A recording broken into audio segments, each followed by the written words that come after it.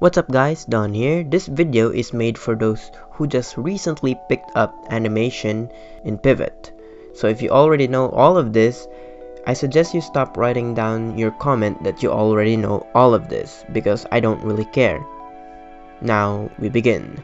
Where to download Pivot? You can download it from pivotanimator.net. Then after you got the installer, be sure to decline the other offer when you get to this part because it will install something in your computer other than Pivot. Now as to why this happens in the installer, you can read more in the description.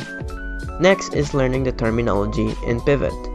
We have the animation canvas, here we have the tools, here we have the animation control panel, and lastly, the timeline.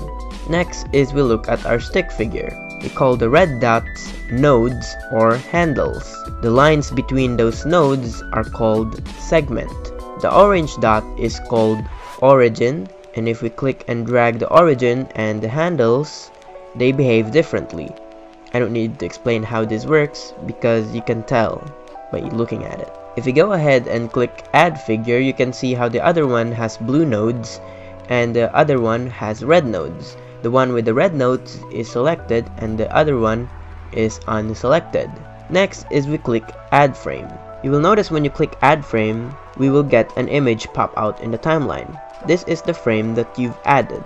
Click it again and now we have two frames. Another thing you will notice when you move the stick figure, it leaves a faded image of the previous frame. This is what we call an onion skin. Next is we will talk about the timeline. This right here tells which frame you're on.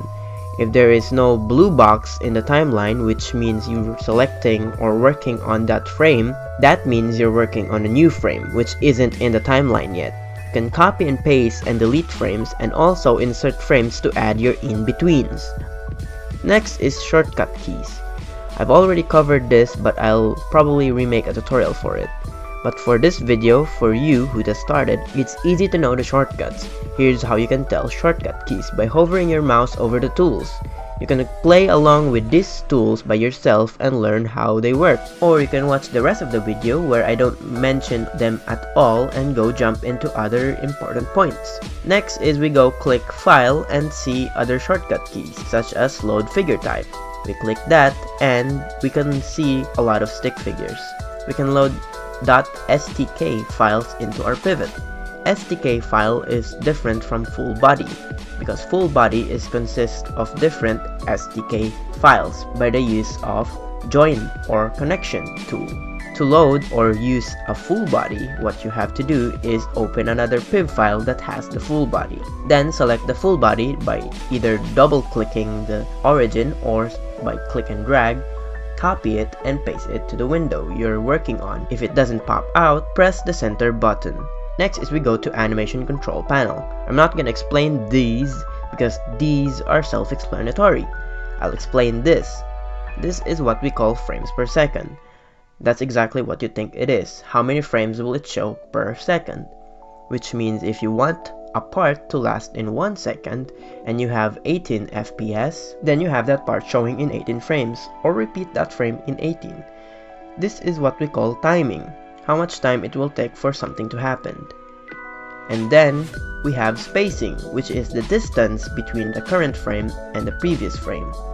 There's a video more in-depth about this from Jijishi. I suggest you check it out and study more about it. When we're done with our animation, we want to save it. To save our animation, click File and Save Animation. The file extension is called PivFile and we can use it for sharing or saving full bodies, just like I shown a while ago. Lastly, if we're done with our animation, we want to export it. To export our animation, click File and Export. We have two options, AVI which is a video and GIF. Before we export it in GIF, you want to lower the FPS because there's some problem with the conversion.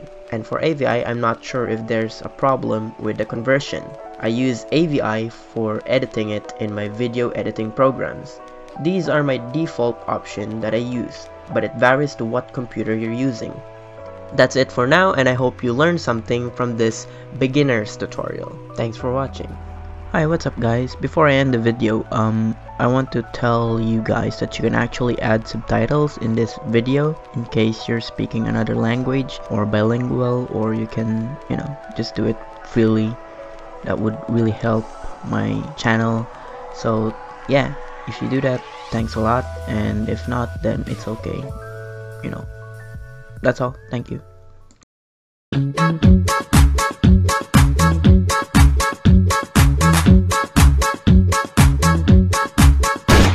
あら、さリりリたリにリわリ、たリでんたんでんだリとリわリ、たリ、ぱリぱリぱりびびびびびびびたんで